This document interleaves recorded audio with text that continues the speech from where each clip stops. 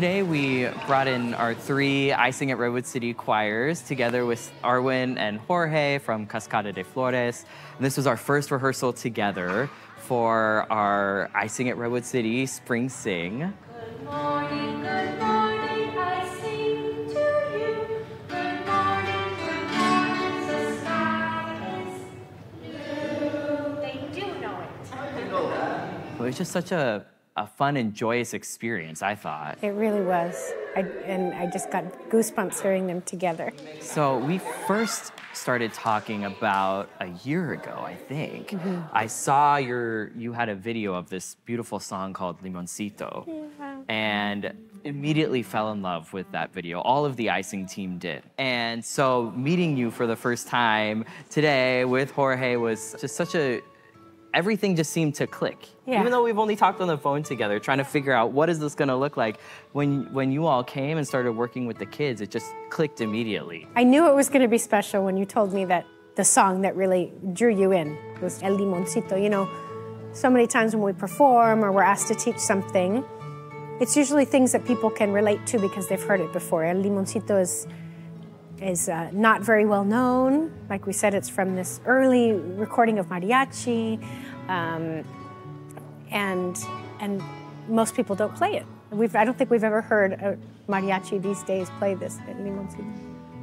It's just it's so tender, and having it sung by by iSing girls was just really really special. Limoncito is a song about someone who walks past a window and throws a lemon through it.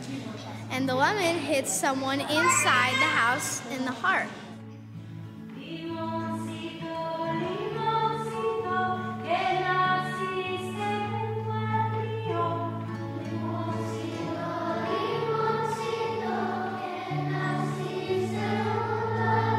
When we first introduced these songs to the kids, they they immediately fell in love with them in a way I haven't seen before. I think the especially when we're talking about El Limoncito, um, they thought of it as a lullaby, something that their mother might sing to them, and all of these things. So it was.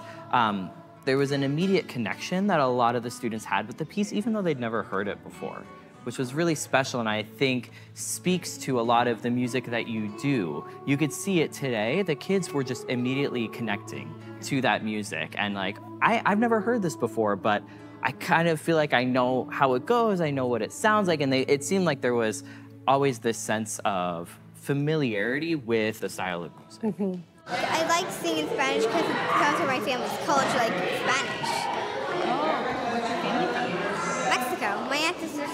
Mexico. I felt absolutely amazing about it. Yeah, I had so much fun. finally having the time to put it all together with the instruments, with the dance moves, with harmonica, it became um, almost like a new piece. It gave Yeah. it new life. But they, they could be part of. Yes, immediately. exactly. That they could immediately be a part of this piece that um, all of a sudden has all of these different elements going on. And they're just they they're so musical and so ready to respond and put themselves in there. And so i have no fear that that'll be they'll be able to handle that no? They were hearing jorge sing a, octave below and there, were, there was no problem.